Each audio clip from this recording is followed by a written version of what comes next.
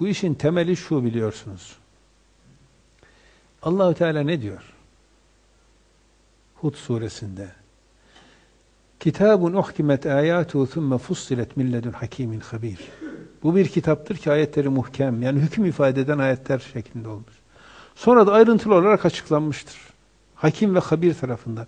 Yani ayeti bir hüküm ifade eden ayeti Kur'an'a koyan da onu açıklayan da Allah'tır. Peki peki tamam niye? Ella ta'budu illallah Allah'tan başkasına kulluk etmeyesiniz diye.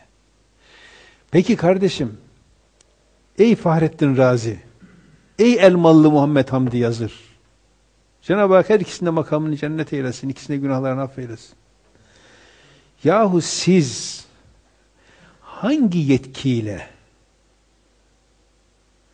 Allahü Teala'nın açıkça hüküm koyduğu, insanları yaratma sebebi olarak bize bildirdiği konuda Allah'ın imtihanını mecaz sayarsınız.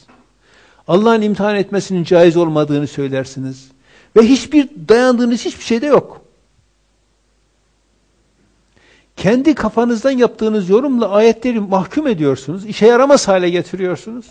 Aslında Kur'an'ın tamamını işe yaramaz hale getiriyorsunuz. Allah imtihan etmez demek,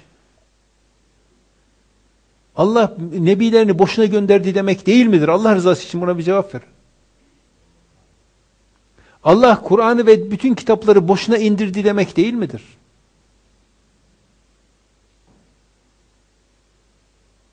Ya neye dayanarak bunu söylüyorsunuz kardeşim? Tabii ki İslam alemini bu şekilde şaşkına çevirdiniz. Nasıl olsa her şey belli. Çalışmama gerek yok. Var mı gerek? Ben burada size niye ders anlatıyorum ki? Niye hazırlık yaptım ki? Ben zaten bunu anlatacaktım. Çalışsam da çalış. Siz de zaten gelip dinleyecektiniz. Öyle değil mi yani bu mantığa göre? Ya bu ne biçim bir şeydir yani? O zaman sevap almanın, günah almanın yani sevabı nasıl hak edeceğiz, günahı nasıl hak edeceğiz?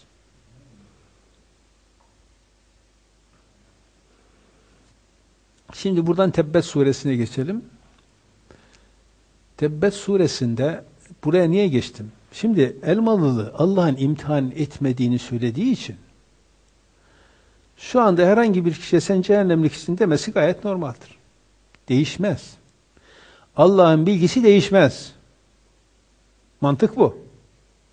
Değişmez. Peki. O zaman hayattayken hayattayken Ebu Leheb cehennemlik olarak ilan edildi. Sadece o değil, karısı da. Karısı da. E Cenab-ı Hakk'ın kuralı var. Allah kuralını değiştirdi mi? Nedir Allahü Teala'nın o kuralı?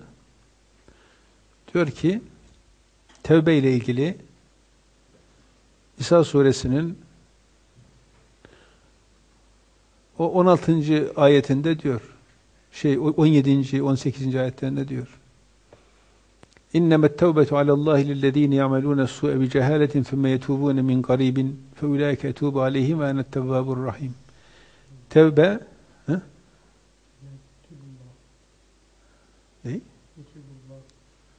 İnnemet tevbetu alallah olsun olsun yanlış okumuş olmayan. İnnemet tevbetu alallahi lillezine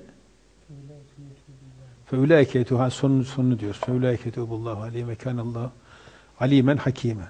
Tamam. Diyor ki innemet tevbetu alallahi illezine yamelune su. Ha o, o ikinci ondan sonraki ayet. Cenab-ı Hakk'ın kabul etmeye söz verdiği tevbe şudur. Kötülük yapan kişinin tevbesi. Bir cehaletin kendini tutamayarak, buradaki cehalet bilmeden değil, kendine hakim olamadan yapmış. Yani mesela sigara tiryakilerini hep örnek veriyorum.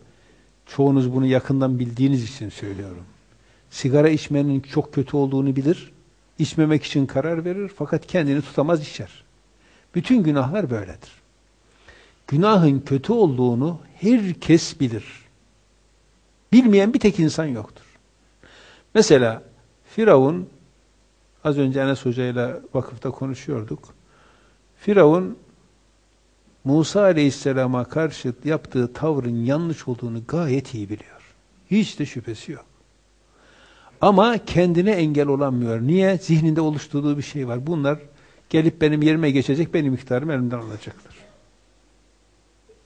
İşte kendini tutamayarak, yani yanlış olduğunu bile bile günah işlemiş oluyor. Ve vakit geçirmeden tevbe ederse onun tevbesi kabul edilir. فَاُولَٰئِكَ يَتُوبَ عَلَيْهِمْ وَاَنَ التَّوَّابُ وَلَيْسَتِ التَّوْبَةُ لِلَّذ۪ينَ يَعْمَلُونَ السَّيِّئَاتِ Kötülük işleyip duranların tevbesi tevbe değildir. Birçok kimse vardır. Hem kötülük işler ya Allah affetsin der. Ya kardeşim önce kötülükten vazgeç sonra ya Rabbi affetti. Bunun kötü bunu herkes zaten biliyor. وَلَلَّذ۪ينَ يَمُوتُونَ وَهُمْ كُفَّارِ Hatta اِذَا حَضَرَ أَحَدَهُمُ الْمَوْتُ قَالِ اِنِّي تُبْتُ الْاَنِ Ölüm gelip çatmış o zaman tevbe ettim demiş. Bu olmaz. وَلَلَّذ۪ينَ يَمُوتُونَ وَهُمْ küffar Kafir olarak ölmüşlerin tevbesi de tevbe değildir. Peki şimdi bu ayet-i kerimeye vuralım. Geleneksel olarak şöyle bir ifade kullanılır Tebbes suresiyle ilgili olarak. İbn Abbas'tan gelen bir rivayete dayanılır. O rivayet Buhari'de, Müslim'de ve bazı diğer hadis kitaplarında var. İşte Resulullah sallallahu aleyhi ve sellem Mekke'de Ebu Kubeys Dağı'nda bütün e, yakınlarını çağırdı ve endir aşireteke akrabin en yakınlarını uyar emri geldikten sonra onlara tek tek söyledi. Şu dağın arkasında atlılar gelip burayı basacaklar desem inanır mısınız? İn, inanırız dediler. O zaman ben Allah tarafından sizi uyarmak için gönderilmiş bir elçiyim dedi. İşte Ebu Leheb de sen ellerin kurusun ya da dillerin kurusun. Tebbet yedak yani. Ya da yuh olsun şeyin Elmanlının ifadesi ile. E, dedi. Onun üzerine sure indi. Tebbet yeda Ebi Lehebin ve tebb. Ebu Leheb'in elleri kurusun. Zaten kurudu da. İşte e, seyasla naren zâte lehebin e, işte şeyli çok alevli bir ateşe sokulacaktır. Ve muratuhu karısı da hemmaletel hadab odun taşıyacak taşıyıcı olarak fici diye hablum min mesed ve boynunda da şey e, ip, ip, ipten bükülmüş bir şey var. E, gerdanlık olarak.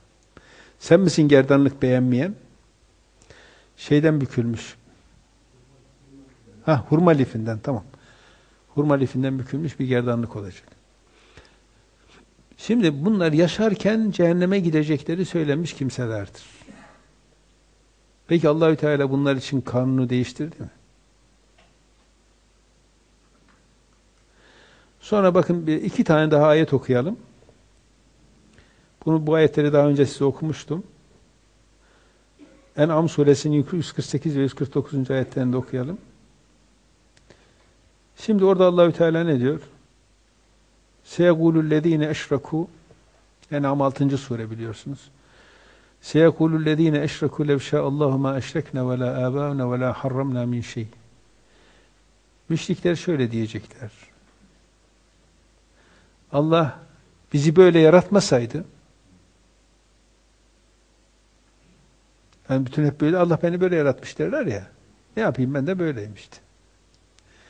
Yani kadercilikten. Allah bizi böyle yaratmasaydı ne biz müşrik olurduk ne de babalarımız. Hiçbir şeyi haramda kılmazdık.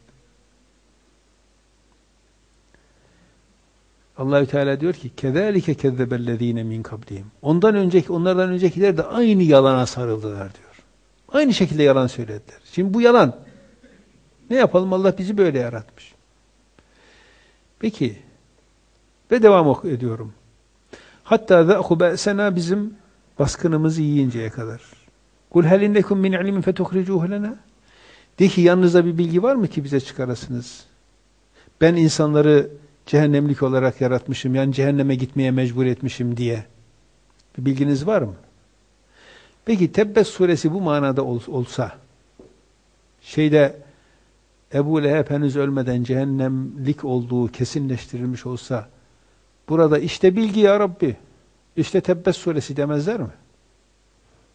Demezler mi? İnsanları cehennem için Yani cehenneme zorladığımı levşa Allahümme eşrekine var ya. Yani Allah bende böyle yaratmış. Benim insanları cehennemlik olarak yarattığımı gösterecek bir delil var mı elinizde? Çıkarıp gösteresiniz. İşte Tebbe suresinden daha sağlam delil olma, olur mu? Bak, sen öyle diyordun ya Rabbi. Ebu Leheb daha hayattayken karısına da ona da cehenneme gidecekler dedin. Sen burada kanunu bozdun. Halbuki ölene kadar şey yapıyordun. Müsaade ediyordun. Hatta Firavun o boğulduğu sırada tevbe etti de sen şimdi mi dedin? Şimdi az öncesine kadar isyandaydın dedin. Ama bunu Ebu Leheb'de çiğnedin. Herhangi bir şey var mı diyor. En küçük bir bilgi var mı? Var işte bundan daha sağlam bilgi olur mu? Yanlış mı? Bundan daha sağlam bilgi olur mu? İşte bak dünyadayken adamı cehennemlik yaptın. Demez mi?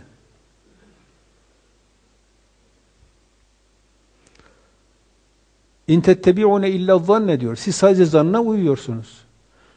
Ve in entum illa tahrusun. Siz sadece atıyorsunuz. O zaman peki Tebbes suresinin Ebu Leheb hayattayken, karısı hayattayken indiğini söylemek nedir? Doğru bir bilgi mi? Uyuyor mu sisteme?